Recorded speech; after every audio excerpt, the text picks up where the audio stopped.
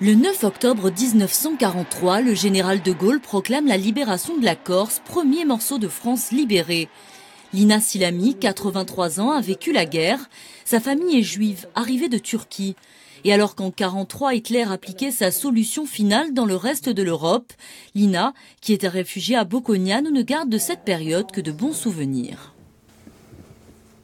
Il y a eu trois, trois événements qui, qui ont fait qu'on a échappé à, à tout, toutes sortes de, de mauvais, mauvaises périodes. C'est que le préfet Bailey a dit euh, il n'y a pas de juifs en Corse, ce qui était faux, mais il a, il a répondu qu'il n'y avait pas de juifs en Corse et que même s'il y en avait eu, très important, c'est que la population, il a répondu que la population verrait d'un très mauvais œil qu'on puisse faire des discriminations. Le deuxième point positif, c'est qu'on n'a pas eu quand même, on n'a pas été occupé par les Allemands, on a été occupé par les Italiens. Et la troisième chose, c'était que euh, on a été libéré quand même en 43, alors qu'en 43 sur le continent, il y avait encore des déportations et et ça bardait quoi.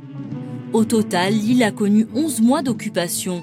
La libération intervenue précocement par rapport au reste du territoire est le fruit d'une insurrection populaire.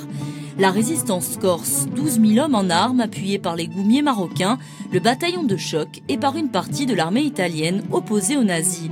Une occupation de courte durée mais qui a marqué les esprits. J'avais 13 ans. À cet âge-là, vous savez, vous savez, parce que c'est la guerre, euh, on ne réalisait pas. Hein. Mais bien sûr, après, quand je voyais que mes parents, il fallait partir, on donnait l'alerte, il fallait aller à l'abri, il fallait courir, chercher un abri pour, euh, pour éviter les, bombes et tout ça. Et c'est sûr qu'après, j'ai compris. Hein. Nous, on était à Bastia, dans les villages moins, mais à Bastia, nous avons souffert. Des souvenirs très durs pour une adolescente. Moi, j'habitais au 18 rue Colonel. Nous avions la fenêtre justement qui surplombe la plage et qu'on voyait tout. Hein. À la fenêtre, il me dit, il disait à ma mère, mais ce soir ils sont venus, les, Italiens, prendre euh, un cercueil.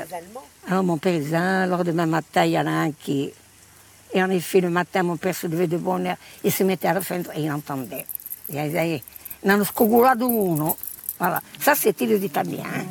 Cette année, la Corse commémore les 75 ans de sa libération, une page de l'histoire longtemps restée dans l'oubli. Il a fallu attendre les années 2000 pour qu'elle retrouve sa place dans les manuels scolaires.